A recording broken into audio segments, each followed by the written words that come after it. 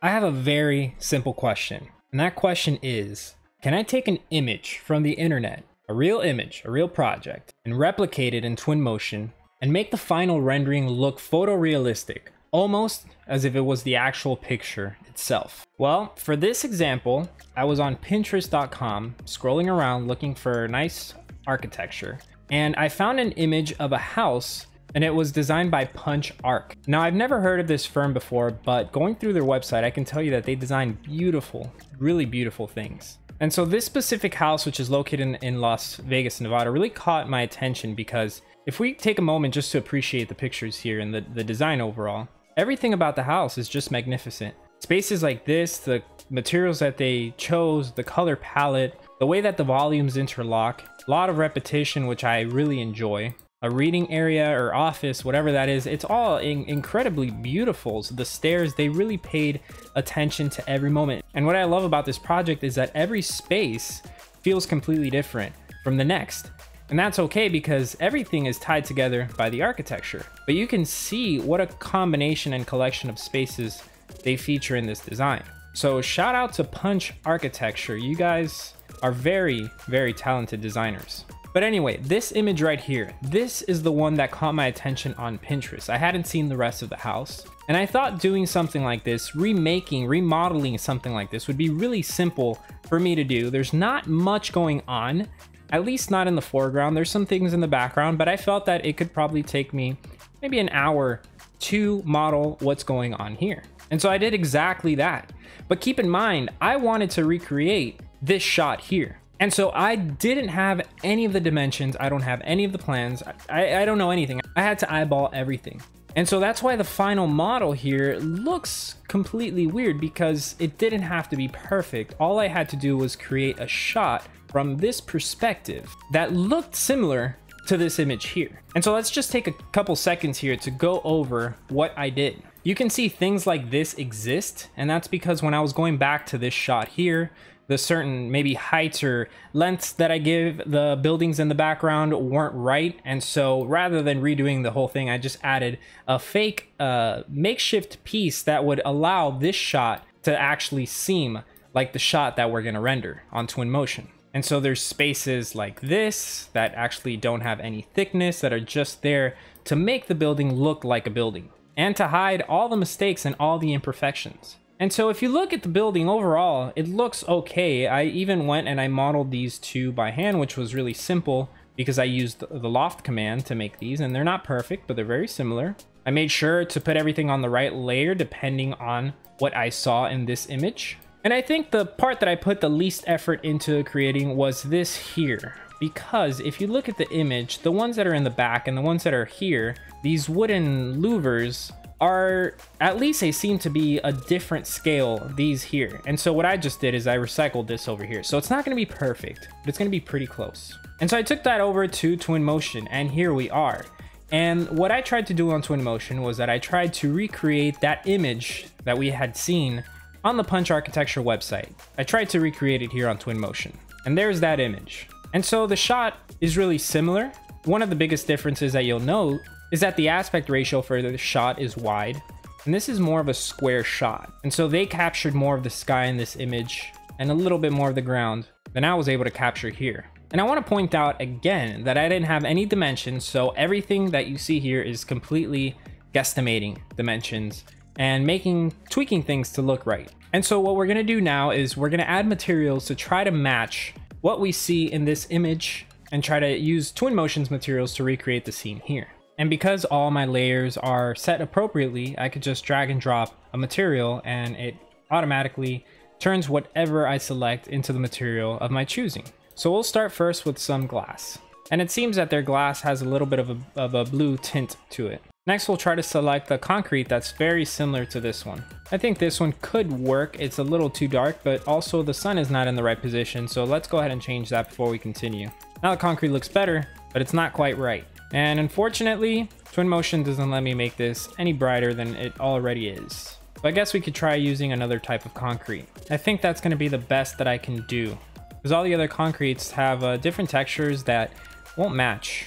I could import my own materials, but the idea was to only use Twinmotion the way that it comes. And so we'll just leave that for now the way that it is. Next, we want to bring in this material. I'm going to use slate for that. Looks good, but I have to reduce the color or remove the white, make it black. I don't know why this looks brown rather than black. And I have to bring down the bump a little bit. I actually ended up using brushed aluminum. Next, we'll do these planners here. This looks to me like stainless steel, but Twinmotion doesn't have stainless steel, so I'm going to be using aluminum siding, and I'm just going to bring down the scale about right there. And these look a little bit more matte than these do over here. So I'll remove some of the reflection. Finally, we want to add wood to these panels here. And I want to make sure I use a wood that really shows the pattern, the natural pattern of wood. And so maybe one like this. This one is ash. Now the color's off because this is darker and has a little bit more of orange, I believe, in there. That's okay. We can make this darker. Pretty close. I want to make sure I increase the scale so that you can really see that pattern. And so even though I'm on ultra right now, ultra settings for the quality, you still can't really tell what the pattern looks like until we render this image. And as always, remember to save. Now the next part is going to be to try to change the landscape from green grass to whatever is shown here. And I don't know if Twinmotion has anything similar to this, but we'll check. Perhaps this could work here, forest ground. Not quite. Maybe this one. No, not really. This seems to be like small stones. Maybe this? That's gravel, and if we change the scale, it's pretty close. I think that's the closest that we're gonna get. Maybe this one here, sand with seashells. It's close, but not quite. So it's either gonna be this or this. I think I'm gonna go with this one. Next, we'll get rid of this background. And thank you to those of you who uh, told me in my last video how to change the background, because that's something I didn't know how to do in Twinmotion, and apparently you have to go to location and then background, and then pick the city, then pick whatever it is, and uh, for some reason I just feel like that's kind of hidden in there. And so this one will be fine. Next we'll add a couple clouds to the sky, even though this is pretty clear. The blue's not the same, and I don't know that you can actually change the, the hue of the sky. I don't think so, unfortunately. I think that's the blue that we're gonna get. We could try changing the saturation up to 55 just to give it a little boost. And now we'll start to add some plants here in these planters. But first, there's stones there in these planters, so we gotta add those. And we'll do that by painting the terrain. So we'll switch this to about four feet and we'll switch this over to pebbles to actually make it two feet. And we'll start to paint this now. So unfortunately, painting it is kind of a pain. So I'm just gonna undo this and I'm gonna do something on Rhino so that we can fit it in these planters. And so what I've done on Rhino is that I've created these curves and now I'm gonna use the loft command to combine them into one surface. Now we press OK Perfect. I think that'll do. And now we'll just copy this over to this one. And I think that'll be good enough. Now back over here at Twinmotion, we have our new material. And so all we simply do is grab the pebble, drag and drop, and voila. So let's go to our view and the scale is not right. So we're gonna make this 0.25. That seems about right. Next, we need to add these here. One, two, three, four, five, six of them. And we're gonna place some around. And let's see if Twinmotion has anything that's similar to that. Not quite, but close. I think the agave would be the best one. One that resembles these the most. And we could change the scale down to 40%. Nothing. 20%. 10%. And so they're a little bit out of scale. Not bad, they just look too dark compared to this here. We also need one of these guys over here. There, that looks pretty good. We're gonna add some more and you'll see that it's floating and that's completely okay because you're not gonna see this part. Next, we're gonna start to add all these plants that are around and since I don't know what type of plants those are, I'm just gonna guess. Make it look similar, but I'm not gonna place everything where it goes, obviously. Or maybe I should. No, I'm just kidding. All right, now I'm just putting plants in these planters here. And we gotta find a bushier one for this one. I think that'll work. All right, now we gotta add other plants around this area here, and we gotta continue adding plants to uh, the topography, and then these small stones here. And so this is what I have so far. Getting there, but not quite. So I'm just adding plants at random. Trying not to do too much, but also trying not to do too little. This one is too distracting, so we gotta get rid of it. But I think it's coming along great. This one also is too distracting, but I think it looks good. And maybe these back here are too distracting. This one. These are very distracting plants. Okay, it's all right. Now we got to change this floor here on this model to a similar concrete, but it's actually darker. I think this one's to work. Let's bring the scale to 1. Too much. Maybe 0.75. And it's actually significantly darker than what I have here. More. Cool.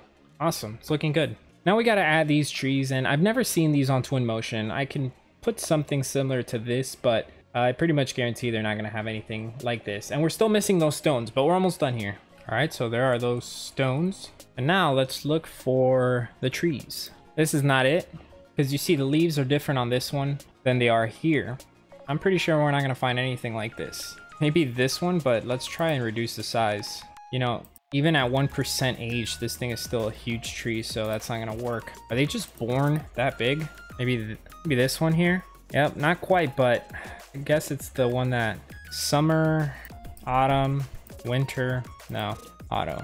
I guess it's okay. Feels really, really distracting, but yeah, I think this is to be fine. It feels so in the way, but I guess there's nothing there.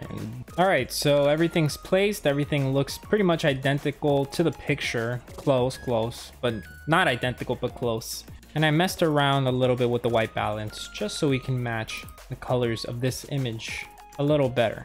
And I gotta tell you, it's looking pretty good. So what we're gonna do here now is we're gonna render this image. Let's save before we lose a bunch of stuff. We only have one image to select here. And unfortunately, guys, since I'm using the trial version of Twinmotion, the perpetual free trial, I think that's why this is happening. The output size doesn't let me select 4K, so it's to stay at 2K. And um, I think it's to look okay, but we're not really to be able to zoom in too much if we want to uh, post-process this in Photoshop, which we're not to in this video, maybe in a future video. Um, but anyway, let's see what this looks like. Kind of excited to see. All right, so the final image is done, and I'll give you guys $100 if you can guess which one is the real image. Is it this one, or is it this one? I'm just kidding. You can obviously tell that this is the Twinmotion image, and this is the original image. The aspect ratio is one of the first things that you notice about the image. Second thing that you probably notice is these vases here and just overall the way that I took the image is not exactly the same as this one was taken, but it's pretty close. It's really close. You'll notice that the wood that they have has way more texture than the one that we have. And that probably has to do with the fact that we're not doing it in 4K. But if you were to use a custom made wood, then definitely it would look better. Everything else looks very similar even the size, I'm pointing at my screen like you guys see that, but um, even the size of, of these um, scores or reveals are very similar in size to these. And so now here are those two images side by side. And when they are side by side, it gets a little bit more difficult to tell which one's a rendering and which one is not. Since you have been with me the whole time, then immediately you can tell. Um, and definitely what gives it away is this portion right here. Notice how even these guys over here are very similar. I almost got it spot on. I should have increased the scale of the material a little bit so that we can catch those horizontal lines, but um, definitely the wood is what gives it away. Everything else is so similar. The ground obviously is different. So if I would have wanted to completely match this, I would have imported uh, some sort of some sort of ground texture that looks more like this. And also, the, the colors uh, are more saturated here. This is like green yellow, and this is more like a, of a dark green. And so we need to bring the saturation down here a little bit, but it would be tricky because the sky on this one is completely different than the sky on this one because this is a very light blue and it doesn't seem to have too much of a gradient. Yet this one, you can see that it goes from white to dark on this corner. So if we wanted to Photoshop this, it would be a little tricky, but you can see that the concrete is almost exactly the same. The color temperature, I think, is not completely right on this one, and so this concrete looks more yellow than this one, and then these lines are way more harsh than these lines are here. This is more subtle. We'd have to smooth out these edges here, and so I think that's something else that gives it away. And uh, finally, the shadows in real life are much nicer than in Twinmotion. You can see that the shadows in real life, they're nice and defined. And then these here start to feather off. And so that that's not so nice. And also, there's way more of an ambient light in real life than there is in Twinmotion. And that's something I could have adjusted, but um, I missed it. And so I'm not going to redo this render, but now you have an idea of what kind of quality Twinmotion can give you. And for those of you who think I've missed a step that could have really increased the quality of this, let me know down in the comments because other people who are going to be rendering would probably like to know how can they get the most photorealistic quality using Twinmotion. And so I would appreciate if you guys leave a comment with all your suggestions below. Also, let me know what you think about what I did and let me know if you like the, these types of videos so that I can make more in the future. I'm always happy to hear everybody's critiques and suggestions. To the designers at Punch Architecture, I want to mention that you guys are very talented once again, and I really enjoyed doing this, working on this project. It's a really nice design. And to the guys over at Twinmotion, if you're watching this, why don't you make me one of the characters in Twinmotion so that other people can put me in their models? That'd be super cool. So everybody go over to Twinmotion and spam on their social media telling them make Mooch into a character. It doesn't have to be an animated one, it could be one of those standstill ones. But anyways, I really do hope you guys enjoyed this video. My name is Mooch and this is Pigeonhead Architecture. See you down in the comments.